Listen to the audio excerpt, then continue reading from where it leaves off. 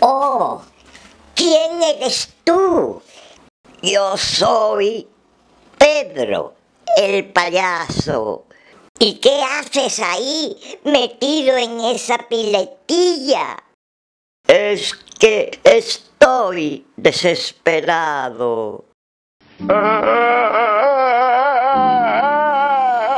Pero no llores, cuéntame, ¿qué te ha ocurrido?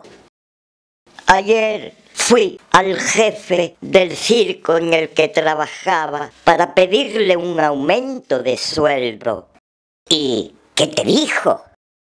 Me dijo, llevamos 20 años trabajando juntos y por fin es la primera vez que me haces reír. ¡Ay, mundo cruel! Estoy desesperado.